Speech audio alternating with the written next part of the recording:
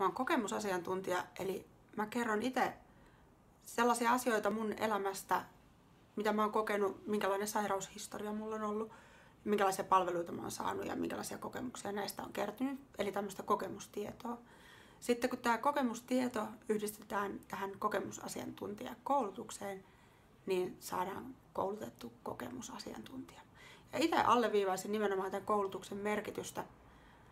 Tota, se on hirveän tärkeä. Se suojelee myös ihan sitä kokemusasiantuntijaa itseään sekä myös sitten tilaajataho voi varmistua tätä kautta, että se on ammattimainen se työntekijä, kuka sieltä tulee. Tosiaan hoitava taho usein tietenkin ajatteleekin, että he ymmärtää potilaan parhaan, ja varmaan siis näin onkin, mutta että ei sitä potilaan kokemusta oikein pysty ymmärtämään, ellei ole itse läpikäynyt sitä samaa.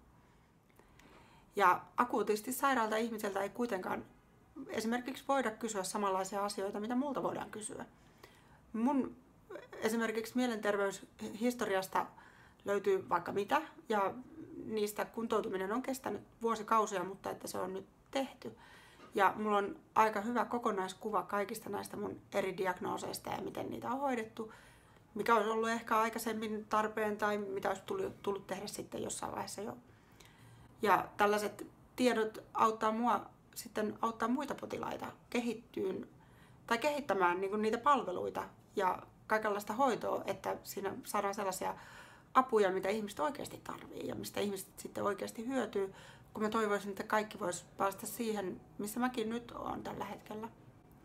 Mä oon kuitenkin ollut sille ihan kunnolla hullu, että mä oon kuullut ääniä ja nähnyt olemattomia asioita ja mulla on ollut tämmöisiä psykoottisia masennusvaiheita. Ja hyvin vakavaa masennusta on kestänyt vuosikausia, mutta että ne on nyt onnestaan takana päin. Siinä on aina sellainen juttu, että masennus uusiutuu tosi herkästi Eli ainahan sillä pitää tavallaan pitää itse myös varansa.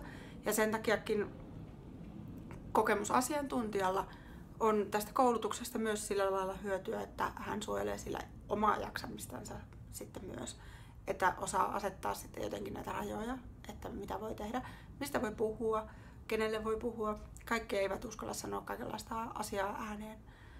Itse on ollut hirveän julkisesti esillä omista niin kuin muistakin sairauksista ja mielenterveyden ongelmista, niin kerta mä haluaisin poistaa sitä stigmaa siitä, että ne on psykiatrisia sairauksia ja niille voidaan myös tehdä jotain, että niiden kanssa voi elämiseen saada apua. Tässä esimerkiksi tällainen mä oon Auroran sairaalassa menossa ohjaan tota, kokemusasiantuntijana tällaista lähtiöiden ryhmää, että ketä potilaita kotiutetaan.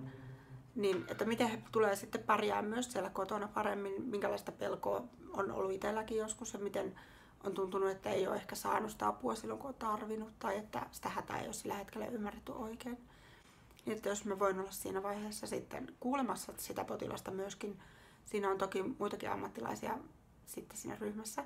Ja siinä korostuu myös tämmöinen kokemusasiantuntijuuden ydin, että Meillä on usein työparina ammattilaisia, esimerkiksi psykiatrisesta sairaanhoidosta. Siellä ryhmässä on psykiatrinen sairaanhoitaja mukana. Ja tällä tavoin varmistetaan myös sitä potilaiden hoidon laatua ja turvaa. Että toki mä oon nyt niin ohjannut näitä ryhmiä useampiakin, siis erilaisia. Mutta että itse kyllä näkisin siltikin tärkeänä, että yksittäinen kokemusasiantuntija ei saisi sellaista valtaa tavallaan niin kuin omilla mielipiteillään sitä hurjasti vaikuttaa muiden potilaiden vointiin, että siinä pitää olla hirveän hyvä sosiaalinen pelisilmä ja pitää pystyä olemaan tarkkana, että mitä siellä silloin sitten puhuu.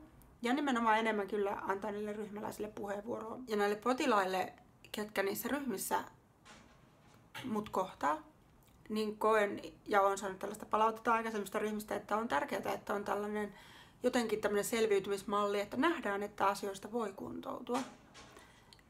Että se rupeaa olemaan silloin niin kuin konkreettisempaa jollain tapaa, että se on mahdollista myös heille.